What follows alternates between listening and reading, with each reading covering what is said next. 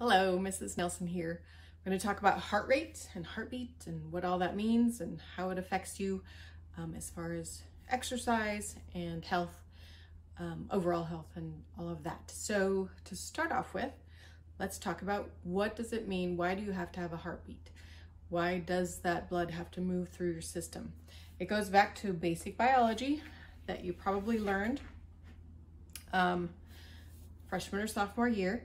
And if you remember, we in biology, we talked about cellular respiration. So every cell in your body has mitochondria and they break down food and oxygen and make carbon dioxide, water, and energy.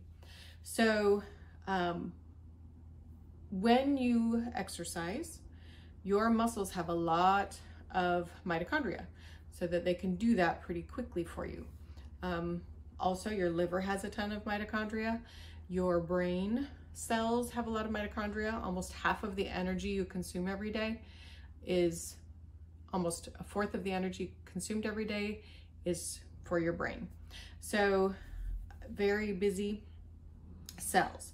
Now, red blood cells do not have any mitochondria.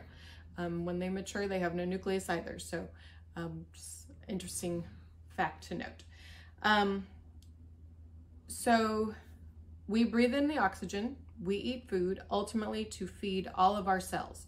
So every cell gets oxygen and food from our bloodstream and then releases its waste products of carbon dioxide and water back into the bloodstream.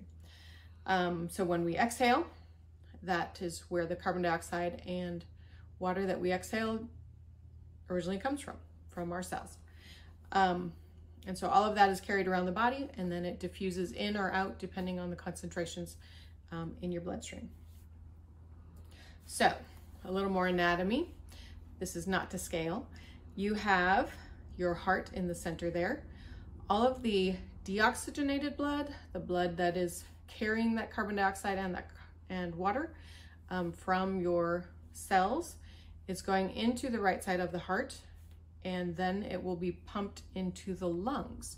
So that is when that transfer takes place. So oxygen that you breathe in into the lungs will get into the bloodstream and the carbon dioxide that you breathe out is going to diffuse across the membranes into the lungs and out of your mouth and nose. Uh, then it will go back into the left side of the heart to be pumped to the rest of the body.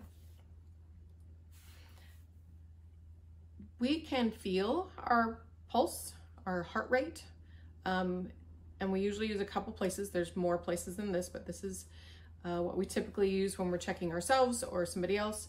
Um, you have uh, your carotid artery that goes up your neck, and if you put your uh, two fingers right there in the crook of your neck, you should be able to feel your pulse in your neck. Um, you can also feel it in your radial artery, which is in your wrist, and also use your uh, pointer finger and middle finger. Um, your thumb actually gets some of some pulse from that radial artery, and so sometimes using your thumb can be problematic. So first, how do you find your resting heart rate? You need to be resting. That hopefully makes sense. Um, so you find your pulse and then you time for 10 seconds and count. So you will take um, and understand that there's 60 seconds in a minute. So we will take whatever we get times six uh, to figure out how many beats per minute. Um, so if you get 11 beats in 10 seconds, then your heart rate is 66 beats per minute. And this is, of course, we're talking about resting heart rate. So at rest, laying down, seated, and relaxed. Um, for an adolescent, 60 to 110 beats per minute is considered a normal range. And as you can see, that's a pretty broad range, but uh, that's because we're all a little different. Now, one thing for reference is knowing your maximum heart rate. So you will subtract your age from 220 to find your maximum heart rate. And so if you are 15 years old, you subtract 15 from 220 and your maximum heart rate would be 205. Understand we're not trying to reach that maximum heart rate um, unless you're an elite athlete, maybe. Um, but that's just kind of a point of reference for when we talk about uh, your levels of exercise. So, exercise goals. You, if you are trying to do moderate exercise, burn lots of calories, maybe losing weight, whatever, um, your heart rate should be 50 to 70% of your maximum heart rate. So, if you're if we're going by the number that you're a 15 year old and your maximum heart rate is 205, then half of that would be about 103 and 70% would be about 144. So that would be a, an acceptable range for kind of moderate exercise. Um, during this time, if you're doing moderate exercise, you should be able to talk, um, carry on a conversation while you're exercising. That's another indicator without actually taking your pulse. Um, vigorous exercise, you want to bring your heart rate to 70 or 80% or 85% of your maximum heart rate. Um, so that would be 144 to 174 for a 15 year old. And um, this is when it gets a little harder to talk when you're exercising. There's a lot of charts um, online, or if you go to the gym, they will have these posted all around just to give you an idea of what you should be going for. So notice if you're doing moderate exercise, here they say 70 80% of your maximum heart rate range, and you should be able to do that 10 to 40 minutes. Improves aerobic fitness. You will feel some fatigue, um, not hard breathing, um, some sweating. And this is typical people should be doing this on a regular basis. Um, notice the maximum heart rate is generally very fit people who are trying to um, maximize their sprints or exertion um, for their sport. Another measure of fitness is how quickly your heart can return to its resting rate.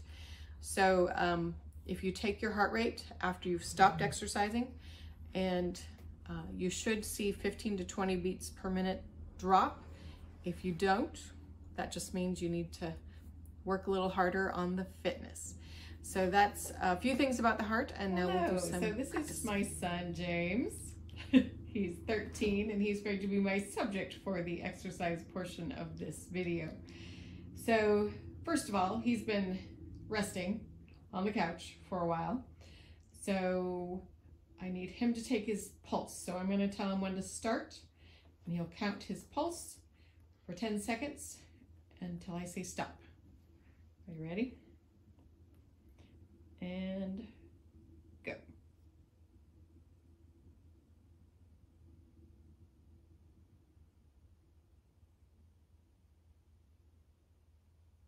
Stop. 16. 16. All right. So 16 times 6 is, whoops, I gotta, I'm calculating. So right now his resting heart rate is 96 beats per minute. And so he is going to ride the bike for two minutes. We're gonna see if we can raise that heart rate to help him um, raise his breathing rate and heartbeat. Go, baby, go.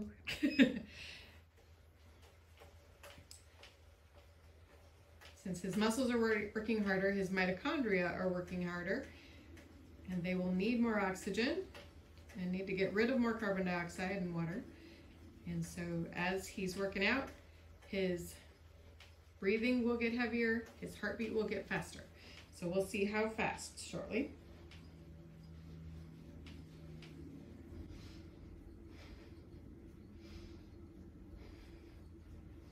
And stop. All right, now take your pulse. So you want to start. Ready? Go.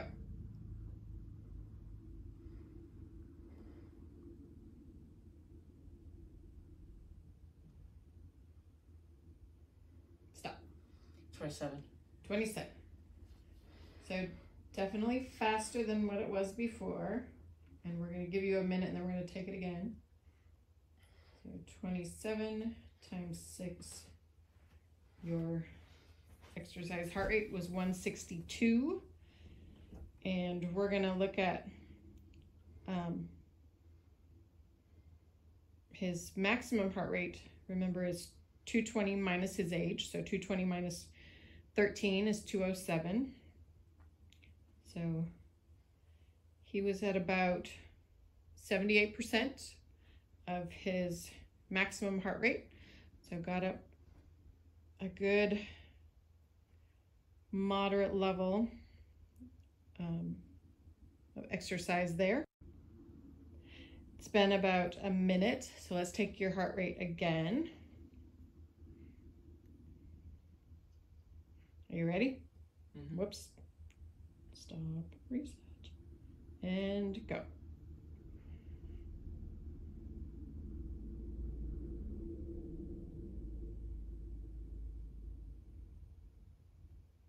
Stop. 13. 13.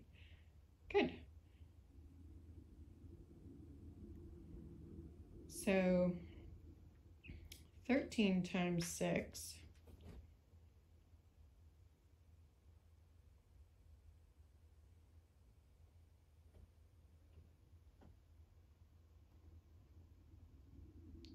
is 78. So his heart rate has dropped considerably in that minute after he exercised. So that's a good sign. And just wanted to let you see how this works so you can try it at home.